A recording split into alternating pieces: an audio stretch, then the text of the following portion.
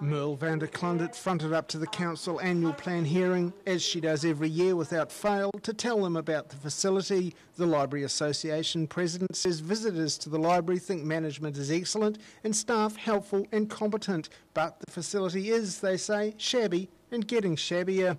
The library houses treasures like the Reed and McNab collections, and international visitors keen to visit the City of Literature will turn up to have a look. If we become um, UNESCO City of Literature, there will be loads of people coming to um, view it, and they have to go through the library to get there. But therein lies something of a problem. And I think that this council should think very carefully about refurbishing the library, making it a, a pleasanter place for people to go. Van der says carpets and toilets were a particular problem. The association called for plans for a $4.4 million refurbishment of the building to be brought forward from a proposed start of 2019, and that might set the scene for a city that claims to care a lot about the written word. David Lockray, 39 Dunedin News.